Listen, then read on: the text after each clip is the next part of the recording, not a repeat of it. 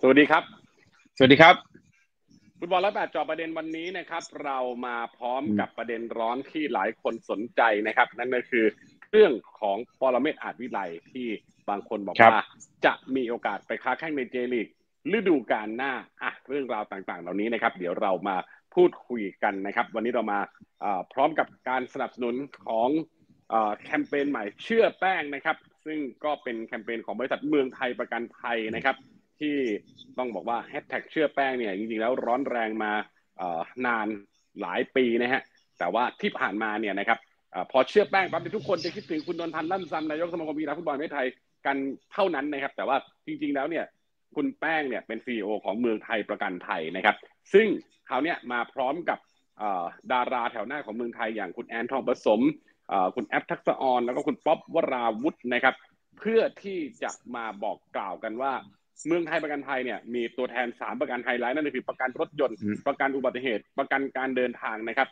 ตอกย้ำความเชื่อมั่นให้กับทุกคนนะใช้ชีวิตได้อย่างมั่นใจนะครับ คาดไว้มั่นใจ เมืองไทยประกันภัยโทรหนึ่งสี่แปดสี่นะนะครับ เพื่อติดต่อตัวแทนครับจำหน่ายทั่วประเทศนะครับ คุณจะได้เอ่อมีประกันให้อุ่นใจในทุกๆรูปแบบนะครับ เอาละทีนี้เนี่ยเอ่อในเรื่องของข่าวดังประเด็นร้อนช่วงเวลาเนี่ยอืมมันก็คงจะครับหนีไปจากเรื่องของ ปรเมศอาจวิไลเจ้าฟรองก์ไม่ได้นะครับ ซึ่งมีข่าวลือว่าเขาจะได้ไปค้าแข่งใน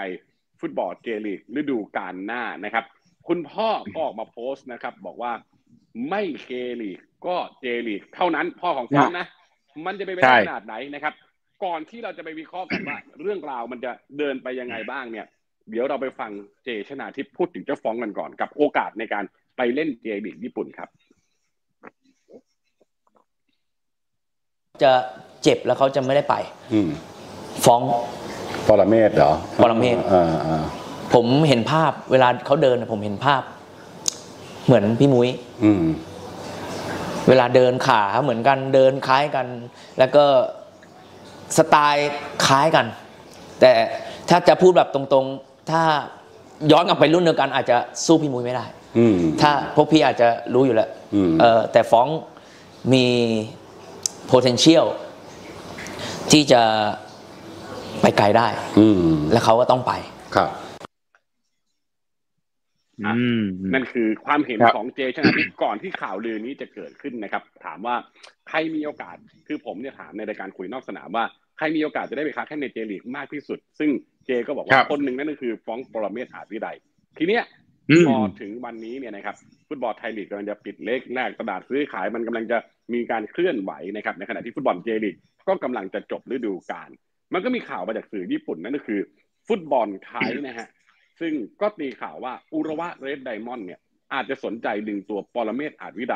ไปค้าแข่งในเจลีอืกมนะครับอะสื่อญี่ปุ่นลงเนี่ย แต่ประเด็นมันก็คือว่าในเนื้อหาข่าวเนี่ย ดันไปอ้างว่าแหล่งข่าวข้อมูลเนี่ยมาจากประเทศไทย เออ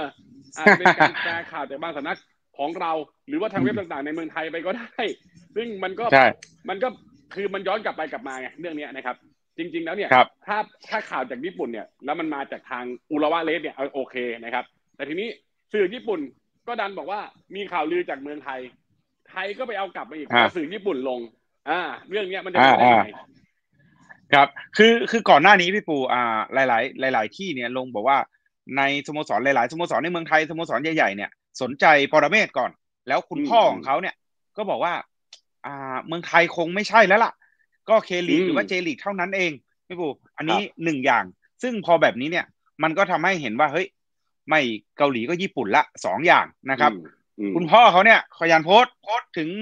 ปรเมศเนี่ย โพสต์ตลอดพี่บูแล้วก็ครับพอมาส่วนหนึ่งผมเคยคุยกับ อ่าเจชนาทิพย์เมื่อหลายปีก่อนก่อนที่อืมเอกนิตปัญญา หลังจากอาการบาดเจ็บของเอกนิตปัญญาพี่บูครับชนาทิพย์วันนั้นเนี่ยผมถามว่า แล้วใครอยากไปต่อจากเจ ก่อนที่เขาจะไปฟอนตาเล่อ่าเจอืมบอกว่าถ้าเอกนิตไม่เจ็บเนี่ย ฟอร์มเอกนิตแบบนี้เนี่ยมันต้องได้ไปเจลีก ซึ่งอีกสองปีถัดมา เอกนิตปัญญา ได้รับโอกาสไปเจลีกพี่ปูเช่นเดียวกันอืมการมองเห็นของเจ การมองเห็นของนักเตะคนหนึ่งที่ อยู่ในวงการฟุตบอลเจลีกมาหกเจ็ดปีครับพี่ปูอืมผมว่าเขาอาจจะมองแล้วอืมเห็นอะไรในตัวของปรเมศย์ อาจวิไลเหมือนกับที่เขาพูดในคลิปเมื่อกี้แหละ อืมครับ ทีนี้ถ้าเราดูจากฟอร์มของปรเมศย์ช่วงนี้เป็นช่วงที่เขาท็อปฟอร์มดีมากๆนะครับ โดยเฉพาะยิ่งการเล่นในทีมชาติ มีประตูสวยๆ ในฟุตบอลโลก หรือว่าจะเป็นการเล่นให้กับสโมสรก็ดีนะครับ ฟอร์มถือว่าครับสมบูรณ์มากในช่วงเวลาเนี้ยอายุ 26 ปีก็เป็นช่วงเวลาที่ ถ้าไม่ไปช่วงเนี้ยผมว่าเอ่อ28 29 30นิดก็จะไปยากแล้วครับนะครับ แต่ประเด็นคือแน่นอนแหละความต้องการของผู้เล่นเนี่ยอยากไปอยู่แล้วนะครับ แต่ว่าทุกๆ ครั้งที่เราคุยกันถึงเรื่องการย้ายตัวเนี่ยมันจะต้องขึ้นอยู่กับสามปาร์ตี้หลัก ๆ นั่นก็คือสโมสรที่ต้องการก่อนนะครับอะอะผู้เล่นครับนะครับ ผู้เล่นอยากไปแต่ว่าไม่มีอืมสโมสรต้องการมันไปไม่ได้แน่นอนนะครับ อะครับก็ย้อนกลับไปอีกเขาบอกว่าจะเป็นอูราวะเลสนะครับ สมมติว่าเป็นอูราวะอ่าเลสอ่าถ้าอูราวะเลสครับต้องการต้องการแบบไหนอย่างไรนะฮะผู้เล่นอืมอยากไปไหมอยากไปแน่นอนแหละสำหรับปรเมศอาจคจะรับไปก็ย้อนกลับมาอีกครับปาร์ตี้ที่สามนั่นก็คือ ต้นสังกัดเมืองเมืองทองพร้อมอืมจะปล่อยไหมนะครับ เมืองทองพร้อมอ่าจะปล่อยต้องมองสองมุมครับว่ามุมหนึ่งคือ ถ้าหากว่าขาดฟรองก์บอลเมศไป เมืองทองจะเสียผู้เล่นสำคัญคนหนึ่งไปในขณะที่อ่าสถานการณ์ของทีมต้องมาประเมินกันด้วยว่าโอเคหรือไม่นะครับ เพราะว่าก่อนหน้าเนี้เพิ่งจะปล่อยเจริญศักดิ์ไปนะฮะหรือว่าจะเป็นครัการบได้เอกนิตปัญญากลับมา แล้วปล่อยปรเมศไป อันนี้คือเงื่อนไขของเมืองทอง ในแง่ของอาประสิทธิภาพทีมที่จะลดลงไปขนาดไหนนะครับ อีกเงื่อนไขครับหนึ่งก็คืออ่าเมืองทองเองนะครับ ถ้าจะปล่อยไปอะจะได้ค่าตัวเท่าไหร่จะไปแบบไหน จะไปแบบอืมยืมก่อนหรือเปล่านะฮะเพราะว่าฮะถ้าสมมุติว่ามันจะคล้ายกับกรณีของเจริญศักดิ์เลย คือถ้าปล่อยไปญี่ปุ่นโอกาสของผู้เล่นมี แต่ว่าลักษณะของญี่ปุ่นจะเป็นลักษณะของการยืมตัวนะครับ หรือว่าจะใช่มีการจ่ายค่ายืมอันนี้ก็ว่ากันไป ซึ่งมันก็ไม่ได้มากไม่ได้มายอะไร แต่ตรงข้ามกันถ้าขายในเมืองไทย อันนี้ได้เงินก้อนแน่นอน เคสของปรเมศก็คล้ายกันนะครับ ครับ คือผมผมมองหลายๆมุมในในปรเมศพี่ปูปรเมศคุณภาพของปรเมศในปีสองปีที่ผ่านมาเนี่ยเขาเขาสูงมากนะพี่ปูแม้ว่าจะไม่ใช่กองหน้าเบอร์หนึ่งของทีมชาติไทย ในชั่วโมงนี้ก็ตามที แต่ว่าเขาพิสูจน์ตัวเองได้ในระดับหนึ่งอ่าหนึ่งก็คือเมืองทองถ้าไปเจลีกผมว่าเมืองทองอาจจะต้องปล่อยยืมพี่ปูคือเราไม่อืมยังไม่เคยเห็นว่าเจลีกทุ่มงบยี่สิบสามซื้สิบอเลยสี่สิบล้าน มาซื้อเลยอืมในครั้งแรกในการดีลครั้งยากแรก ซึ่งมันเป็นไปไม่ได้ใช่ครับ แต่อืมสโมสรในเมืองไทยเนี่ยกล้าซื้อเลยในราคาอืมสี่ห้าสิบล้าน หรือสามสี่สิบอืมล้านในประมาณนี้อืมพี่ปู แต่ครับการเดินทางของตำแหน่งกองหน้าอย่างปรเมศนี่น่าจะเป็นกองหน้าคนแรกนะ ในเมืองไทยที่ไปเล่นเจลีกนะพี่ปูถ้าสมมุติว่าได้รับโอกาสเพราะว่าหลาย ๆ คนอย่างสุประโชคอย่างเอกนิตเนี่ยก็เป็นด้านข้างเป็นกองกลางอะไรธีรเงี้ศิยลป์นะธีรศิลป์ทีละศิลป์อ่านทีละศิลป์คนที่สองพี่ปูแต่การไปเล่นในตำแหน่งกองหน้าเนี่ย มันต้องแย่งชิงกับนักเตะที่ใช้โควต้ายุโรป ใช้โควต้าบราเวอซิลร์ไวพี่ปู ใช่อะอเมริกาบราซิลใต้ยุโรปอเมริกาใต้ พวกอืมสีผิวพี่ปู ที่มันแข็งแรงอืมมาก เรารู้อยู่แล้วว่าเราเห็นในในฟุตบอลไทยว่า การแข่งแย่งชิงดีชิงเด่นในการลงสนามในตำแหน่งหน้าเป้าเนี่ย ในเมืองไทยมันก็โหดร้ายอยู่แล้ว ในเจลีกคุณภาพมันก็สูงขึ้นด้วยปรเมศถูกมีคุณภาพสู้ตรงนั้นได้หรือเปล่า ถ้ามั่นใจว่าสู้ได้ ผมว่าปรเมศก็ไปได้ อืมอ่าต้องประเมินสถานการณ์ด้วย อ่าทีนี้ทีนี้นอกจากนอกจากสถานการณ์ของปรเมศแล้วเนี่ย สถานการณ์ของเมืองทองก็สำคัญครับสเพราะว่าก่อนหน้าใช่เนี่ยถ้าเรามองมองดูแล้วเนี่ย จะมีบีจีทีมหนึ่งแหละที่มีโอกาสที่จะยื่นซื้อปรเมศเพราะว่าตอนนั้นเนี่ยเขาสนใจตั้งแต่ตอนที่ได้เจริญศักดิ์แล้วนะโยจำได้ไหมครับ อ่าใช่ใช่ครับ จะเอาไปคู่อ่าพี่ปูจะเอาไปทั้งคู่ ใช่ใช่อ่าอ่าทีนี้ได้เจริญศักดิ์ไปคนเดียว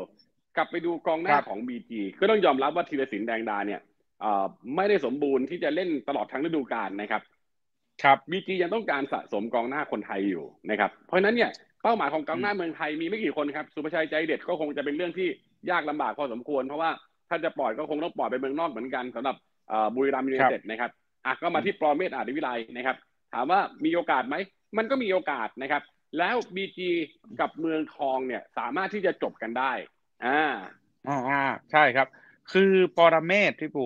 ถ้าหากว่าบีจีกับเมืองทองจบกันได้เนี่ย เม็ดเงินมันจะอยู่ที่อะประมาณผมคิดว่าประมาณยี่สิบสามสิบล้านเอาแบบถูกๆเลยนะใช่เอาแบบใช่เบาๆเอาแบบถูกๆเลยต้อนะงมียี่สามสิบสิบสามสิบล้านสามสิบล้านในตำแหน่งกองหน้าเนี่ย วันนี้ก็ต้องยอมรับว่ามันหานักเตะต่างชาติ เอามาในตำแหน่งนี้เนี่ย มันโหดกว่าพี่ปูสมมุติว่าเงินเดือนละอืมสองล้านอะ เงินเดือนสองล้านสิบสิบเดือนหรือหนึ่งฤดูกาลเนี่ย มันมันมีโอกาสตอบโจทย์มากกว่า ถามว่าปรเมศใช้งานได้อีกยาวไหมยี่สิบหกปีของปรเมศ มันใช้งานได้อีกยาว แต่พอโคต้าอ่าสามบวกหนึ่งบวกสามโคต้าอาเซียนเนี่ย มันเป็นเจ็ดแล้วไงพี่ปูอืมมันมีโอกาสที่ปรเมศอาจจะไม่อาจจะไม่ได้อยู่ในเมืองไทย แต่อืมจะไปสู้ในเจลีก หรือจะไปสู้ในเคลีก อย่างที่คุณพ่อเขาบอกอืมมันก็มีสูงอืมมันก็มีสูงครับเพราะว่าใครนอกจากธีรศิลป์แล้วอะจ่ายสามสี่สิบล้านในตำแหน่งกองหน้า แม่มัน มันก็คิดหนักนะพี่ปูเอาอย่างนี้ดีกว่าอืมอืมอืมอืมอืมอืมอะนี่เป็นนี่เป็นการวิเคราะห์การมองหลาย ๆ มุมของเรานะครับ ในกรณีของอ่าโอกาสในการย้ายตัวของปรเมศอาจวิไลนะครับ ทั้งย้ายในเมืองไทย แต่ว่าไฮไลท์เนี่ยมันต้องอยู่ที่การไปญี่ปุ่น เพราะมันมีข่าวลือออกไประยะระยะ แล้วอ่าทุกครั้งที่มีข่าวลือออกมาเนี่ยมันมีโอกาสเป็นไปได้ด้วยครับ เพราะว่าถ้าหากว่าไม่มีไฟก็คงไม่มีควันนะครับ มันก็อ่าคงจะมีแนวโน้มอยู่บ้าง แต่ว่าจะจบอย่างไร ทุกครั้งที่เป็นการซื้อขายตัว เราก็จะยืนยันเสมอนะครับว่าไม่มีอะไรร้อยเปอร์เซ็นจนกว่าวันที่ใช่ครัจะบชูเสื้อนะครับ อ่า แม้กระทั่งอืมเอ่อพูดคุยตกลงกันแล้ว มีเอเจนต์เข้ามาด้วยซึ่งเอเจนต์ของปรเมศเนี่ยก็คือ Pro 24 นะ ที่เป็นผู้สนับสนุนใช่ของครับเราด้วยนะครับ ก็อืมต้องคุยกันอยู่หลายฝ่ายนะครับ ให้มันเอ่อได้ประโยชน์ทุกฝ่าย ทั้งกับสโมสรต้นสังกัดอย่างเมืองทอง ทั้งกับตัวผู้เล่นเอง ทั้งกับเอเจนต์เองแล้วก็ทั้งกับสโมสรใหม่นะครับอะแต่ยังไงก็ตามเราก็เอาใจช่วยนะครับ ขอให้เขาได้ไปเดินตามฝันส่วนเดินไปแล้วเนี่ยมันจะอ่าต้องต่อสู้กับอะไรบ้าง อันนั้นผมเชื่อว่ามันเป็นความท้าทายของนักฟุตบอลไทยนะครับ เราไม่อยากเห็นอ่าผู้เล่นไทยขาดหายไปจากเจลีกนะครับ เพราะนั่นหมายถึงว่าเป็นการยกระดับมาตรฐานของนักเตะไทยเราด้วยนะครับ ปีหน้าเอกนิตใช่ครับปัญญา ก็ไม่รู้ว่าจะได้อยู่ต่อหรือเปล่า สุภโชคสารชาติ ไม่รู้ว่าจะยังคงได้เล่นใน J League หรือไม่นะครับสารัช อยู่เย็น J2 ก็มีแนวโน้มว่าจะต้องกลับมา เพราะฉะนั้นเนี่ยการส่งต่อแบบรุ่นต่อรุ่นเราก็อยากจะเห็นปรเมศย์ อาจวิไลไปโชว์ฝีเท้าใน J League หรือ K League นะครับ แต่ว่าผลสรุปนะครับ การดีลนี้จะออกมาอย่างไร เป็นเรื่องที่น่าติดตามกันต่อไปนะครับนี่คือฟุตบอลร้อยแปดเจาะประเด็นในวันนี้นะครับ ขอบคุณ Ari Football Store นะครับลูกฟุตบอล Molten คุยแบบนงถกก่อนสร้างไทยถาวรวัสดุก่อสร้างและโปร24ร รวมถึงนะครับเมืองไทยประกันไทยเชื่อแป้งนะครับวันนี้ลากันไปก่อนนะครับ สวัสดีครับ สวัสดีครับ